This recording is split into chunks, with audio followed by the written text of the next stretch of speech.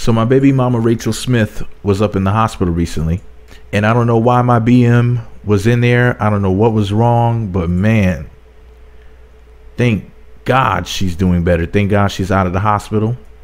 Now some of y'all are probably like me, who is she? I don't know who this woman is. I never heard of her before. Some of y'all are some haters. She is the beautiful Instagram model that Basically, basically, she has an unbelievable body, all natural.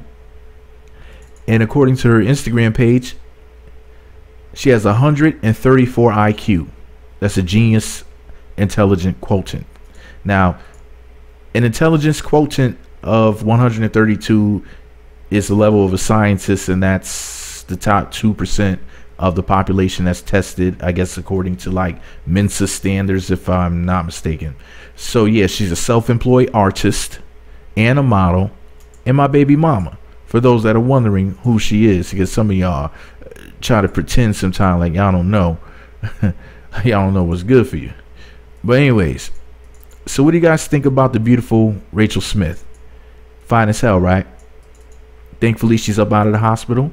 She's your favorite Instagram model we need to pray for BAE.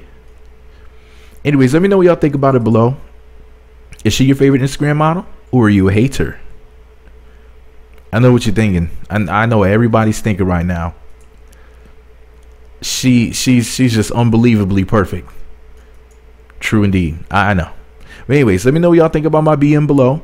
Be sure to subscribe to the MEET Magazine YouTube channels. Visit meetmagazine.blogspot.com for more. Follow me on Twitter at MEET Magazine, MEET Magazine 7 on Google Plus, MEET Magazine blog on Instagram. Thumbs up, comment, subscribe, notify. Let me know what you think about my cutie pie, Raychiel Smith. Share this video on social media, Twitter, Facebook, Google Plus, two cans with the string in the middle, and telepathically. That way everybody in their mama too knows that the beautiful Raychiel Smith is up out of the hospital and back to doing her thing. Or, or at least she will be back to doing her thing again shortly. So once again, hashtag pray for BAE.